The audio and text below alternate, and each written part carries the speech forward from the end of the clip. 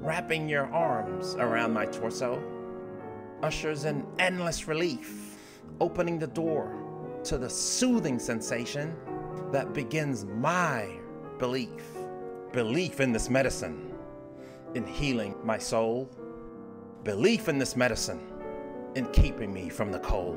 This resuscitation I cannot resist on my journey to completing my list. Your presence has captured my dreams, and you traffic me from my rule, guiding me to new heights and revealing where your love grew. Grew from the soils of hope, nurtured from the fountains of hope, grew from the slopes of eternal optimism, where the dark day fails to render pessimism. This journey magnetizes me near, away from the places I cannot bear. Your love I plaster on my shell, spewing warmth as you cast your spell. It blankets me from the cruel nature, directing me away from pain and hunger.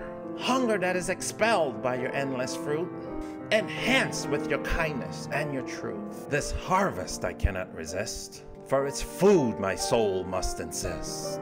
This embrace is inspired from beyond the veil, where love is the ticket and no one can bail. This provision has reignited our love spark, the one that drove us through the arc.